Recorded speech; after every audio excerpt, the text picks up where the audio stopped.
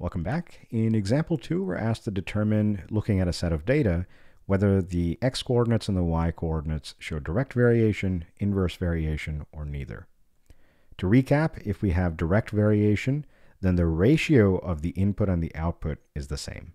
So the, the ratio of x over y or y over x, uh, it doesn't matter which ratio you look at, they have to be constant. Now up here, I specifically wrote y over x, but you'll notice that if I reciprocate this, meaning if I take the reciprocal of this side, I have to take the reciprocal of this side as well.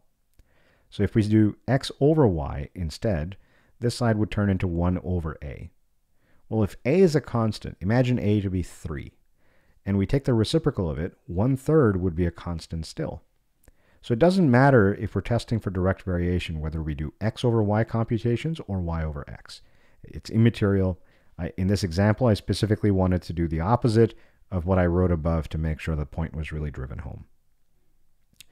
For inverse variations, we note that the x and y products are constant. And products are always easier to compute, so I do that first, always, uh, regardless of what type of problem it is here.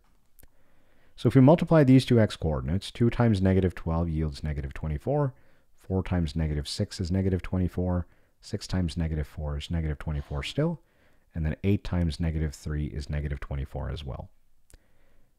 Now, be careful, because a common mistake here is that students will often just do the first two or maybe the first three computations and declare that they have found inverse variation because the products are constant. You want to make sure that you do that computation for all the data points that are given to you, and you'll see why in the very next example. So here, since these products are the same, the products are all negative 24, that indicates to us or implies that we have inverse variation. Or we can say that x and y vary inversely. For this set of data, if we do the same thing, we start by multiplying the x and y uh, coordinates. So 1 times 2 will give us 2. 2 times 4 is 8. Now, right off the bat, we can say quite certainly that the products will not be the same. So if you're trying to rule something out, you can do that the moment you hit uh, incongruency, meaning if these two values are not the same, you don't have to find these last two. I did it just for the sake of completeness because I, I don't want to memorize under which circumstances I should take it all the way to the end versus which not. So here, it's safer just to do it for all.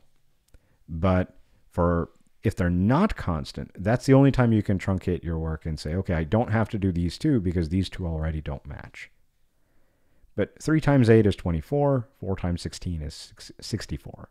So there's no way that these constants are all the same. Therefore, we say that we do not have inverse variation. For direct variation, we have to look at the ratios. So if we were to look at the ratio of x to y, 1 divided by 2 is obviously 1 half. 2 divided by 4 is 1 half as well. The uh, perhaps the, the, the student who might potentially get this question wrong might be inclined to say, hey, these two are the same, so I probably have direct variation. But if you look at the very next ratio, 3 divided by 8 is not 1 half. That's where the train goes off the tracks. And similarly, 4 over 16 is not 1 half either, it's 1 fourth. All of these constants have to be the same. If the ratios are not identical, then we do not have direct variation. So since the products were not constant, we don't have inverse. Since the ratios are not constant, we don't have direct. Therefore, these are neither direct variation nor showing inverse variation. And just to drive the point home, had we found y over x, we'd run into the same issue. 2 divided by 1 is 2. 4 divided by 2 is 2, which is fine. These two are the same, but 8 divided by 3 is not 2. And 16 divided by 4 is 4, which is certainly not 2. Hopefully that helps. We'll see you in the next video.